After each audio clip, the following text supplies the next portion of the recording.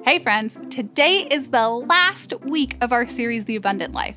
We've learned so much through this series about how God, our Good Shepherd, gives us all that we need, how He protects us and leads us, about how He is always with us, fighting for us, and how He provides for us when we're in need. He blesses us with good things. Today, we're talking about how God is always with us. We have the most iconic sheep story in the Bible to look at. But before we do that, we have our memory verses to do. Are you ready? Let's do them together for the last time. Here we go. The Lord is my shepherd. I have all that I need. He lets me rest in green meadows. He leads me beside peaceful streams. He renews my strength. He guides me along right paths, bringing honor to his name. Even when I walk through the darkest valley, I won't be afraid, for you are close beside me. Your rod and your staff protect and comfort me. You prepare a feast for me in the presence of my enemies. You honor me by anointing my head with oil. My cup overflows with blessings. Surely your goodness and unfailing love will pursue me all the days of my life, and I will live in the house of the Lord forever. Great job! There is so much about our Good Shepherd that's packed into this one chapter in Psalm 23. If you've worked hard to memorize the whole thing, then you have an entire chapter of the Bible in your memory. And if you haven't memorized it yet, don't worry. You have so much time to get those words in your heart.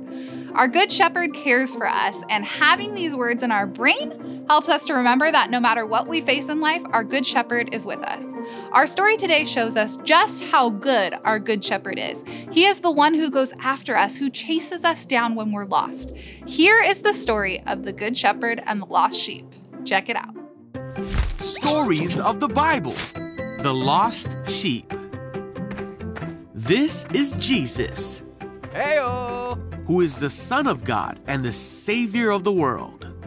While Jesus was on earth, he taught everyone about God's love. He healed many people from their sickness, performed many miracles like calming storms, and even raised people from the dead. Wahoo! Jesus taught everyone about God's love. All kinds of people would come to hear Jesus speak, including tax collectors and people who made bad choices. This made the Pharisees and Jewish leaders mad. Ugh, yuck. They didn't think that Jesus should be around these kind of people. Hmm. So Jesus told them this story.